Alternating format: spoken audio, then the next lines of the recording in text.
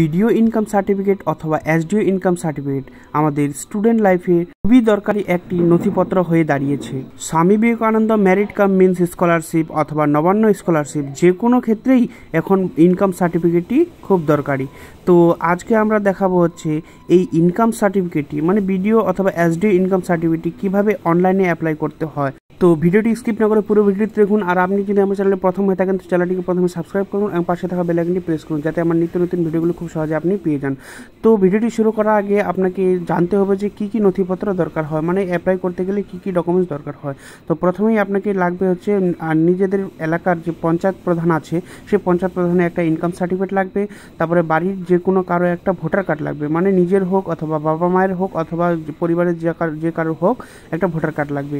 এরপর লাগবে একটা অ্যাপ্লিক্যান্টের ফটো অ্যাপ্লিকেশনে চলে যাব আমরা। সবার প্রথমে আপনাকে গুগল ক্রমটি ওপেন করে নিতে হবে। গুগল ক্রমটি ওপেন করা হলে এখানে লিখতে হবে E district West Bengal E district লিখতে হবে। তো দেখুন, এখানে লেখা আছে ইস্ট ডিস্ট্রিক্ট আমি ক্লিক করলাম। ক্লিক করার পর দেখুন, এরকম একটা পেজ দেখাবে যেখানে আইডি পাসওয়ার্ড ক্যাপচার বসানোর জন্য জায়গা আছে। তো আপনাকে প্রথমে আইডি পাসওয়ার্ডটি ক্রিয়েট করে নিতে হবে। আমার যেহেতু আইডি পাসওয়ার্ড ক্রিয়েট করা আছে, তো আমি আইডি পাসওয়ার্ড বসিয়ে নিচে ক্যাপচারটা বসিয়ে লগ ইনে ক্লিক করব।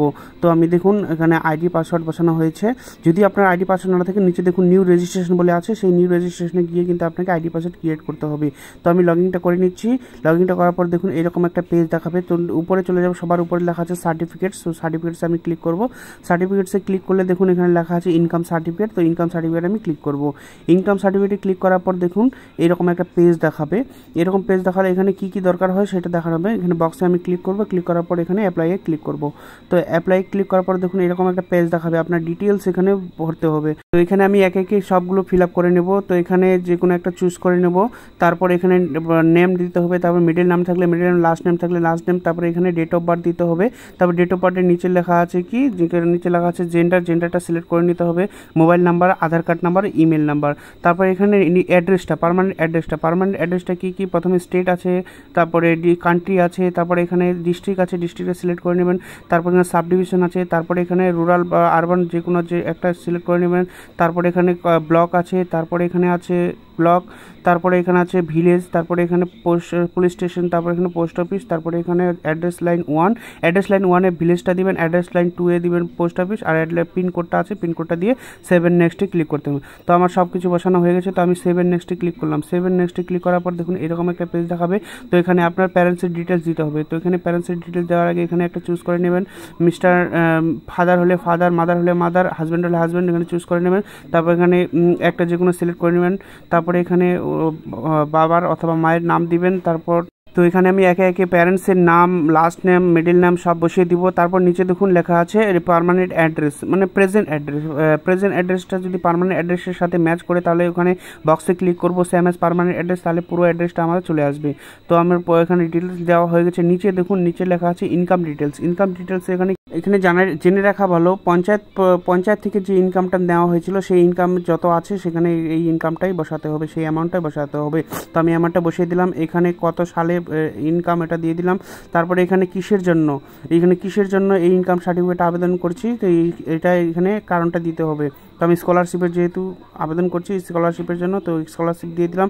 তো এখানে বক্সে ক্লিক করে সেভেন নেক্সটে আমি ক্লিক করব। সেভেন নেক্সটে ক্লিক করার পর দেখুন এরকম একটা পেজ দেখাবে মানে আপনার পুরো ডিটেলস দেখাবে। সেই ডিটেলসটা ভালো করে দেখে নেবেন। যদি ঠিক থাকে তাহলে ঠিক, না হলে ভুল হলে আবার এডিট অপশনে গিয়ে আপনারা এডিট করতে পারবেন।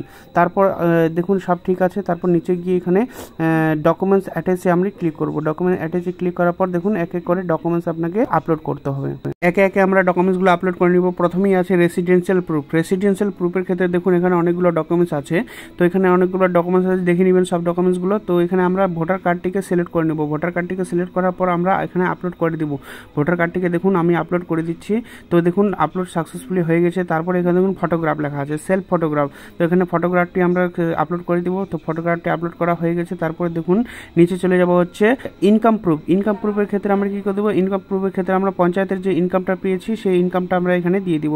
তো ইনকাম প্রুফটার ক্ষেত্রে দেখুন ইনকামটা এখানে আমরা এডিট করে নিব, যেহেতু এর সাইজটা অনেক বড় আছে, তো এই সাইজটা নেবে না এখানে আপলোড তো সাইজটা আমরা ছোট করে নেব। তো মনে রাখবেন পাঁচশোর বেশি কিন্তু, পাঁচশো কেবির বেশি কিন্তু এখানে সাপোর্ট নেবে না। তো আপনি পাঁচশো কেবির নিচে ফটোটাকে সাইজ করে নেবেন, তাহলে নেবে।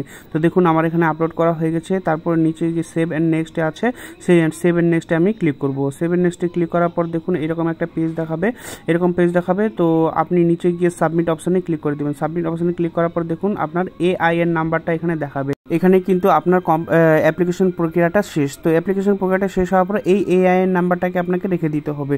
যদি বিডিও অফিস থেকে বা এসডি অফিস থেকে এটাকে অ্যাপ্রুভ করে দেয়, তাহলে কিন্তু এই নাম্বারটা দিয়ে আপনি ডিজিটালি ডিজিটালি সাইন করা একটি ইনকাম সার্টিফিকেট আপনি যে কোনো ক্যাফে অথবা বিএসকে থেকে খুব সহজে পেয়ে যেতে পারেন। আবেদনের ক্ষেত্রেও আপনি নিকটবর্তী বিএসকে কেন্দ্র বা বাংলা সহায়তা কেন্দ্রে গিয়ে কিন্তু আপনি সম্পূর্ণ বিনামূল্যে এটি আবেদন করতে পারেন। আজকের ভিডিওটি এই পর্যন্ত ভিডিওটি আপনার কেমন লাগল অবশ্যই আমাকে কমেন্ট করে জানাবেন আর ভিডিওটি প্রচুর প্রচুর প্রচুর শেয়ার করবেন।